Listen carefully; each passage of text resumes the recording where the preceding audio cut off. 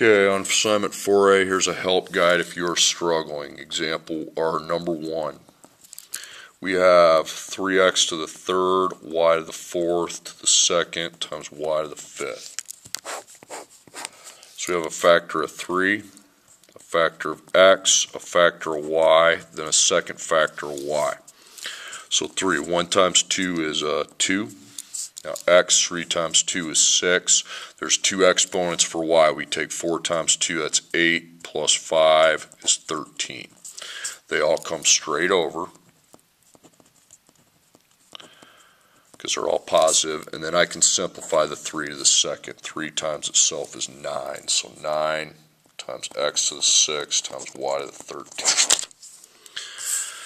Okay, number 2, we've got 8x to the negative third power.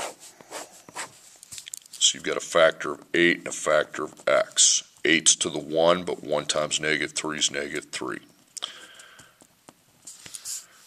Okay, now, those are negative exponents. They can't just come straight over. They have to be moved down here.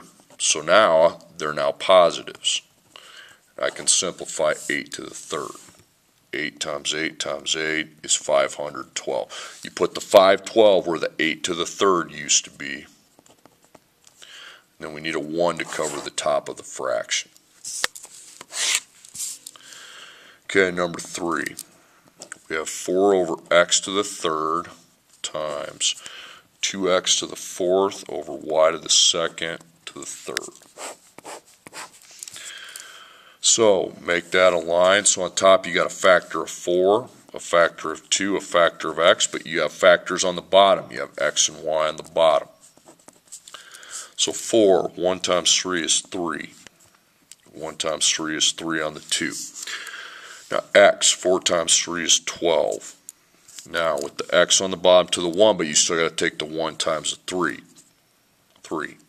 Y is to the 2, but you got to take 2 times 3, that's 6. Now see if you can cross anything out on the from the bottom. X, the x you can, because you can minus 3 then from the top. When you cross out the bottom, you minus it from the top. The y's got to stay because there's no y up on top to cross out. So all of these powers are positive, okay? So they all just come straight over, 4 to the third, where they're at. Keep them where they're at. Now that y straight over. Okay, and I can simplify these two. 4 to the third would be 4 times 4 times 4, that's 64. Put it where the 4 to the third was. 2 to the third, 2 times 2 times 2 is 8. Times x to the ninth, y to the sixth. Then you cross those out. 512, you need to multiply those. 512 times x to the ninth over y to the sixth. Okay, number 4.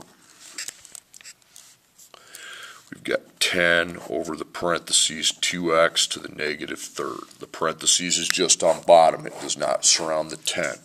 So on top we have a factor of 10, and on bottom we have a factor of 2 and a factor of x.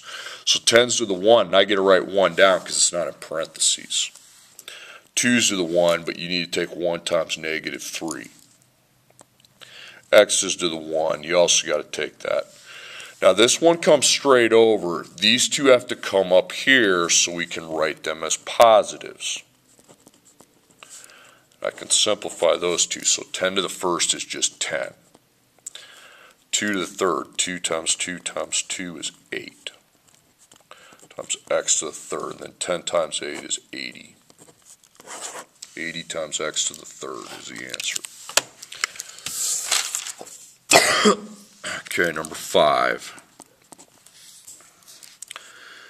Scientific notation, 9.3 times 10 to the power of 16 times, if there's not, if there's nothing in between the parentheses, it's times 3 times 10 to the negative 7. So we times the 9 point, multiplication is commutative. I can do it in any order I want. It would make sense to do 9.3 times 3, and then take 10 to the 16th times 10 to the negative negative 7th. Okay, so 9.3 times 3 is 27.9. So I can write that down. times 10 to figure out what power's on the 10, and multiplication, you add the powers. 16 plus negative 7 is 9. But you have two digits in front of the decimal. In scientific notation, you can only have one. So I move it backwards 1. And when I move backwards, I add 1 to the power. So it's 2 points. Because I'm making it smaller here, so I make this bigger. Times 10 to the 10th.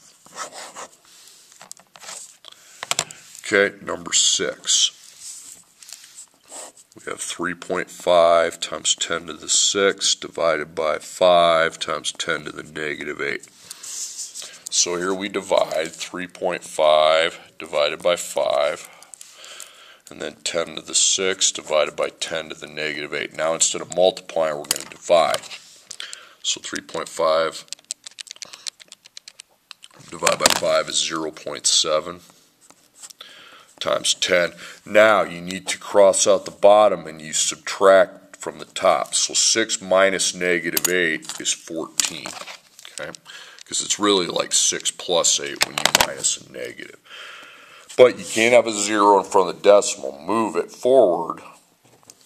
Now you have 7.0, and when you move it forward, you need to minus 1, and that's 10 to the 13th.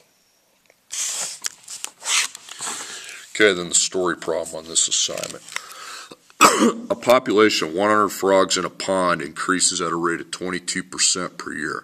How many frogs will there be in five years? So you're figuring out how many frogs there are going to be. So the units in bold, you have frogs and years. Years is X, frogs is Y. Years times always X. So per, frogs per year. Well, there's it doesn't say there's a frogs per year. It's 22. It's a percent. Okay, so plus 22 percent. Percent means again we need to do the a times b to the x power equals y. You make an exponential function out of it. Because when you have a, a, initial amount and it rises by a percent, you would multiply by something over and over. Okay, now a, b, X, and Y. Remember, these two mean the same thing. So if Y is frogs, frogs is A2. Okay, A is the frogs you started with. You started with 100, but you don't know how many you ended with. That's the answer down here.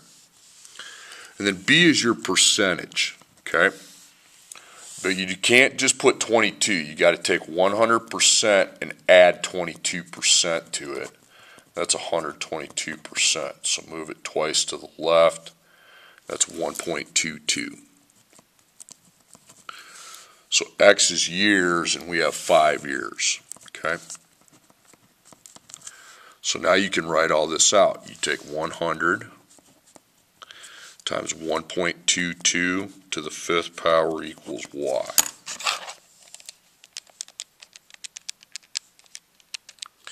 Okay, put 270. There'd be 270 frogs approximately.